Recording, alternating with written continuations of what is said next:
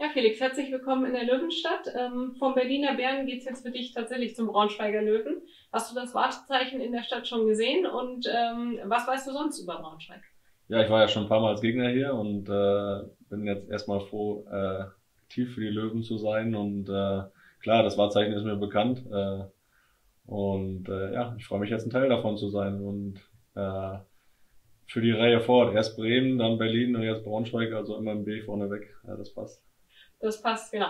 Ähm, du kennst den Stefan Fürstner von Union Berlin. Uns ist so ein bisschen zu Ohren gekommen, dass du dich mit ihm ausgetauscht hast. Was hat Fürsti dir denn über die Eintracht erzählt?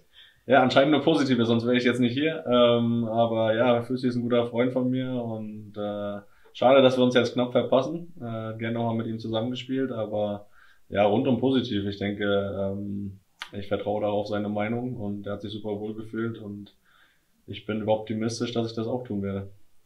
Eine Verbindung gibt's auch zu Daniel Meyer. Wir haben gestern ein bisschen drüber gesprochen und er hat erzählt, du hast ihm mit deinem Freistoßtor ja. beim 1 zu 0 damals sein äh, Debüt als Profitrainer ein bisschen versaut bei Erzgebirge Aue. Besser kann man sich nicht bewerben, oder? Ja, da habe ich noch ein bisschen was gut zu machen, hat er mir schon gesagt, aber ähm, zumindest konnte er da meine Qualitäten äh, als Freistoßschütze schon mal beobachten und ich hoffe, dass ich hier auch den einen oder anderen Freistoß schießen darf. Und ähm, ja, im Nachhinein, jetzt wo er mein Trainer ist, tut es mir vielleicht sogar ein bisschen leid. Wie sehen denn deine persönlichen Ziele für die kommende Saison aus? Ja, erstmal so viel wie möglich Spiele machen, ist klar. Gesund bleiben ist immer das Wichtigste, ist immer leicht gesagt, aber das ist nun mal so. Und äh, dann Spaß haben am Fußball und den hat man am meisten, wenn man auch Erfolg hat. Und äh, deswegen hoffe ich, dass wir als Mannschaft eine stabile Saison spielen, dass wir gut reinstarten. Äh, das macht vieles einfacher und äh, dann sehen, wie sich das entwickelt. Aber ich glaube, dass wir gut aufgestellt sind und optimistisch sein können. Wir haben ein bisschen recherchiert und sind dabei äh, darauf gestoßen, dass dich dein Vater Roland früher trainiert hat. Was hat er dir denn als Trainer mit auf den Weg gegeben? Ja, dass harte Arbeit sich auszahlt. Wir haben viel Extraschichten geschoben. Äh, war immer ganz wichtig, beide Füße zu trainieren, nicht immer nur den starken. Von daher ähm, kann ich auch mit links ein bisschen umgehen, äh, mit dem Ball. Und ja, das harte Arbeit sich aushält. Ich denke, das ist ein wichtiger äh, Punkt. Und äh, da bin ich auch überzeugt, wenn wir es als Mannschaft machen, dass wir eine gute Saison spielen. Du hast das Stichwort Werder Bremen eben schon gegeben. 0 zu 3, äh, bei der 0 zu 3 Niederlage in der Champions League gegen Tottenham hast du dein Debüt gegeben in der Königsklasse. Ist das bisher dein größtes Karrierehighlight? Ähm, bis vor bis vor letztem Jahr hatte ich das noch gesagt. Äh, jetzt ähm, ist es ganz klar der Aufstieg mit Union, äh, mein größter Erfolg. Aber klar, das Champions League Spiel war was ganz Besonderes. Ähm, das nimmt dir keiner mehr weg. Äh, auch wenn wir 3-0 verloren haben damals, habe ich da im rechten Mittelfeld gespielt. Links bei Tottenham hat Gareth Bale gespielt. Von daher, er hat kein Tor gemacht in dem Spiel, das muss ich dazu sagen.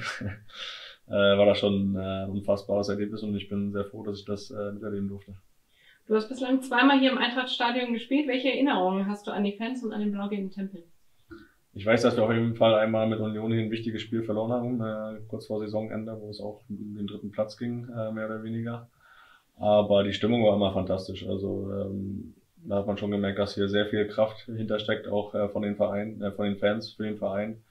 Und äh, sowas spürt man halt direkt auch als gerade als gegnerischer Spieler und darauf freue ich mich jetzt. Äh, wenn es dann endlich wieder erlaubt ist, dann auch äh, als aktiver Braunschweiger dann äh, das äh, als Unterstützung wahrzunehmen und äh, dass da eine große Kraft hintersteckt, das hat man schon gemerkt.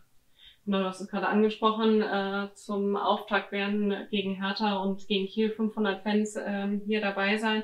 Ähm, inwieweit freut es dich auch als Fußballer, dass so wieder ein Stück weit Normalität einkehrt, wobei es ja nur, wie du selber auch schon sagst, nur ein ganz, ganz kleiner Teil ist und ein ganz, ganz kleiner Schritt. Ja, für die 500 Leute freut es mich, aber ähm, ist ja trotzdem immer noch viel zu wenig. Äh, ist natürlich vielleicht äh, besser als null, aber es geht trotzdem vielleicht in so einem Stein ja noch ein bisschen unter, wenn es 500 Leute sind. Von daher hoffen wir, dass es stetig mehr werden und irgendwann wieder vor ausverkauften Haus spielen. Ähm, ja, es ist nicht schön. Also man hat gehofft, dass es nur die neun Spiele zum Ende der äh, Rückrunde jetzt waren. Jetzt geht's nochmal so weiter.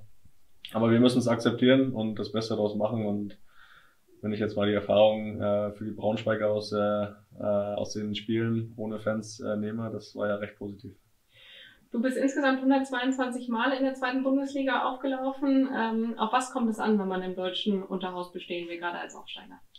Ja, dass du, ähm, ich glaube, in der Liga kann jeder jeden schlagen. Du kannst gegen jeden gewinnen, du kannst aber auch gegen jeden verlieren. Und ähm, glaube ich, äh, wenn wir jedes Spiel ans Limit gehen und das nur so geht's, äh, dann haben wir immer eine Chance, ein Spiel zu gewinnen. Ähm, gegen wen auch immer es geht. Und ich glaube, ähm, ja, immer eine gute Mischung aus Spiel und Kampf finden, das ist immer wichtig. Äh, und äh, manchmal auch ein bisschen das Glück auf seiner Seite schadet auch nicht.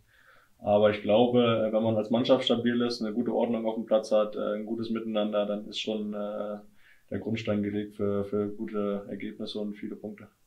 In einer Woche geht's los gegen Hertha. Für dich ein Derby. Ein ganz wichtiges mhm. Derby für die Braunschweiger steht Anfang Oktober an ähm, in der Nachbarstadt Hannover. Was weißt du über das Derby? Ja, ich habe einige Derbys äh, mitgemacht, ob es Bremen gegen HSV war oder auch Union gegen Hertha. Ähm, aber ich habe gehört, dass das äh, Hannover gegen Braunschweig immer noch mal äh, ein Stück brisanter ist, dass da eine sehr, sehr große Rivalität herrscht. Und ich mag solche Spiele und äh, klar, äh, mit der Unterschrift hier in Braunschweig bin ich natürlich absoluter Gegner von Hannover 96, das weiß ich und äh, das werde ich auch sofort verinnerlichen.